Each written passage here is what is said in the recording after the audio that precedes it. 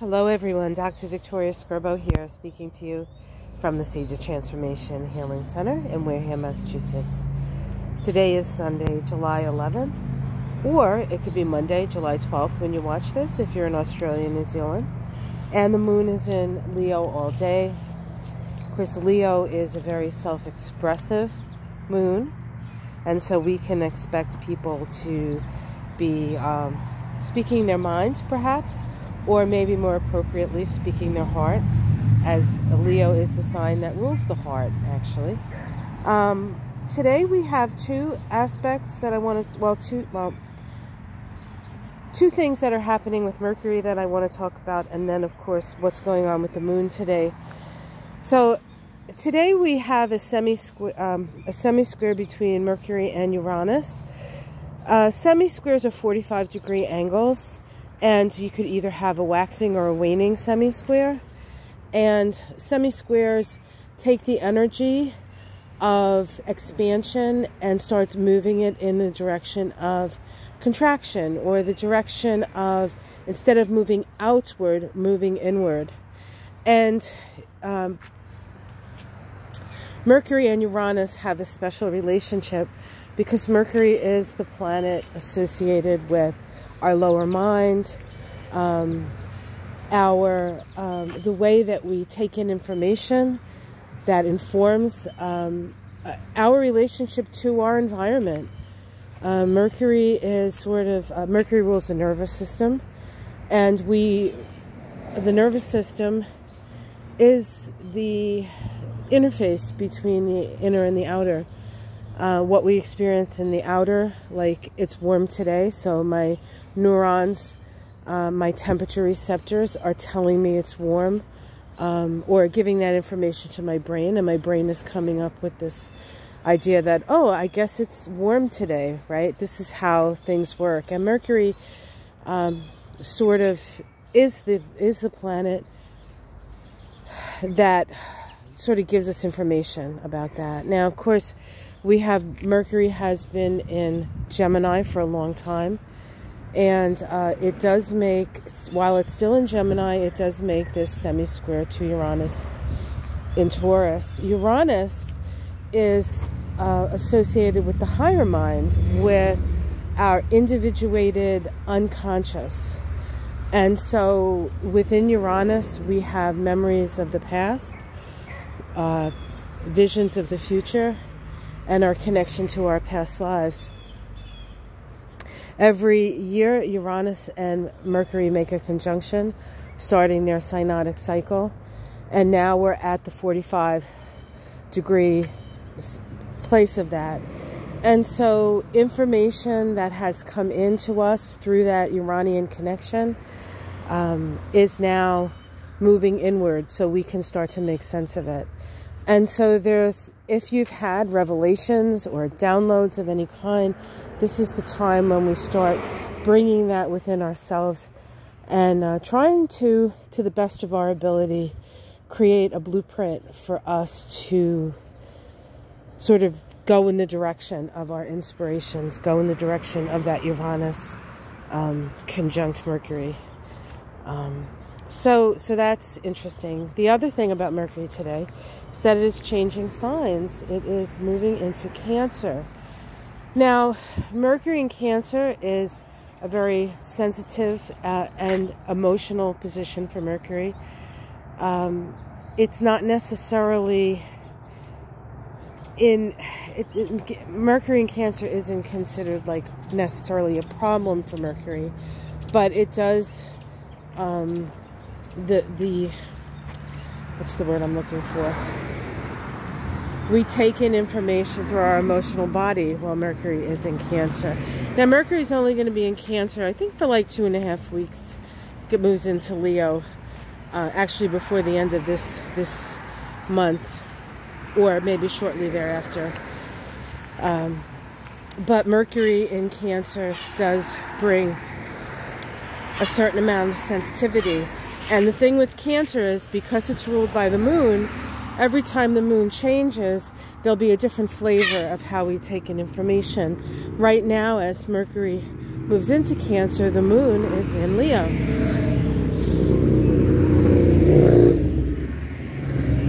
Main Street always has a lot of motorcycles, so um, I'm walking through Main Street. This is what happens.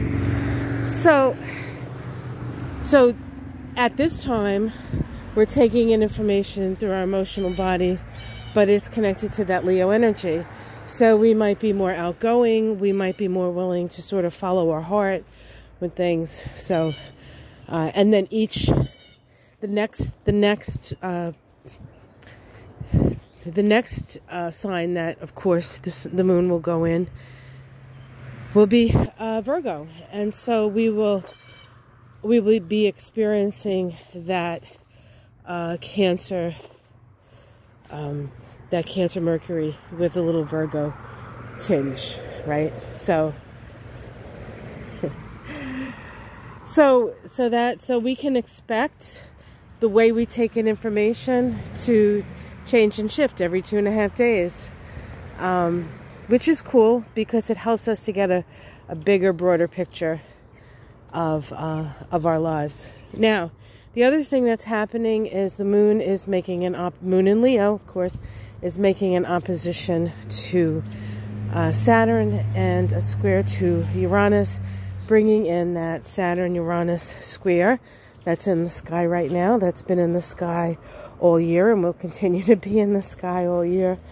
But what the Leo moon does, um, following in the footsteps of uh, Mars and then Venus uh, we get a perspective, and it's a very personal perspective about an awareness around um, what we're responsible for, what we need to take responsibility for, and also how to make the changes necessary to align us with our newfound uh, realizations, our newfound uh, understanding of where we fit in and uh, how we're going to work with that energy, right? So, a pretty nice day altogether. Um, a more maybe emotional day than we could imagine. That's all that Cancer energy and Mercury moving into Cancer. So, um, and I just, it's, I've been a little late today. I've been actually a little late doing these um, for some reason, when I get up, I don't feel so impelled to get out there. Um, and I'm taking things a little easier than I usually do. So thank you for your uh, understanding on that. So let's look at a couple of things that are in the yard. We really don't, uh, we really don't, um, we let things grow around here, uh, sometimes to our detriment and sometimes not. But this here is uh, mullein and uh, it's a very uh, it's it's a medicinal plant. It's actually really good for uh, excuse me. Um, it's good for lungs. Uh, you could smoke mullein leaves. Um, you can make it in a tea, and the flowers are good uh, to put in some olive oil because it helps with ear infections. Um, so there's that. That's growing here, and hopefully it's still growing back here but uh, I'll take you back this way. This is why I like keeping certain things wild. I did have to mow up here because, you know, this is Massachusetts and we do have to be careful of the tick situation um, with the Lyme disease and such. And I have gotten it a few times, so it's no picnic, let me tell you. But now these these are kind of past, but this is St. John's wort. This is St. John's wort, which is good for depression. Um, but they say that what grows in your yard, if you let it, is the medicine that you need. So um, if you have this kind of wildness uh, in your yard, or at least maybe you need to give a little piece of your yard, if you can, uh, a spot for some wildness so that. Uh, Mother Nature can tell you what it is that you need, right? There's a lot of bittersweet here, which is, I've been battling for years. But bittersweet is actually good for arthritis. So, uh, and you know, there's a lot of arthritis in this area for whatever reason, genetic or food wise, or just hard work. so, anyway, all right, guys, I'm going to let you go as I walk through uh, the wildness of my yard. And uh, this is our little peach tree. Um, it's like a mini peach.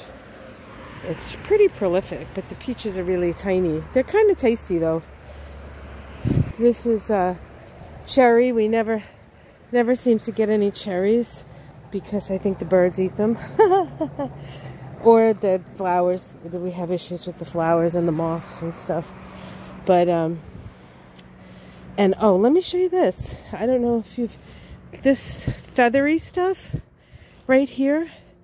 For those of you who don't know, this is asparagus. This is what asparagus looks like when you let it grow. So it's pretty cool. And when the sun is on it, after it's rained, it's, it's like sparkling. It's really, it's really kind of neat. So that's your, that's your garden tour for the day. Not so showy. That rose that I started with was actually Boo's rose. Um, so it's good to see his rose coming up. And here's another, um, this is another uh, peach tree. And these peaches are a, a bit bigger. Ow, ow, I just walked into a peach tree. Ow, that hurt. See? See them? Little fuzzy, fuzzy butts. so, I know the uh, groundhog loves to hang around here because yeah, there's a lot of peaches on this tree. And so some of them just drop off. And uh, then there's some dropped off peaches there. They just seem to drop off. Uh, then the uh, the woodchuck gets to munch on them. All right, guys. Well, have yourself a great day. Like and subscribe. My uh, my driveway is full of metal right now because the guys are going to come pick it up tomorrow, hopefully, uh, and we'll get rid of more junk. All right, guys. Take care. Much love. Oops, sorry about that. oh, this camera work. Take care.